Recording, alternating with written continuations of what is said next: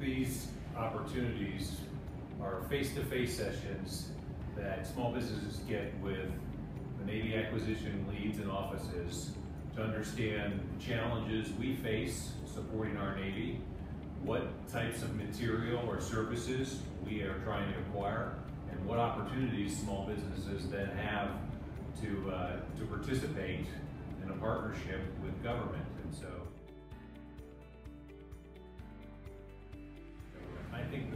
one uh, recommendation I would have for small business is communicate.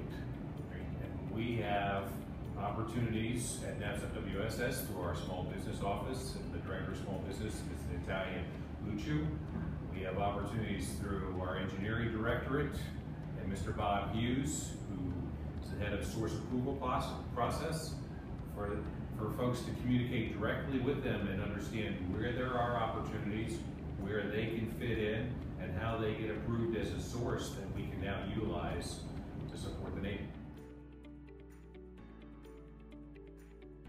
I think uh, the most important takeaway is we are trying to make our Navy ready and whole. And I heard a term yesterday in a session, leadership session, where the Secretary of Defense Mattis is referred to one of his priorities as the lethality of readiness. Well, the important part is being ready. And small businesses can be a great partner in our ability to be ready to support the warfighter. They are often agile and responsive and they are they uh, promote our ability to scale as required to support our weapon systems. So I, I think there's a superb opportunity for small businesses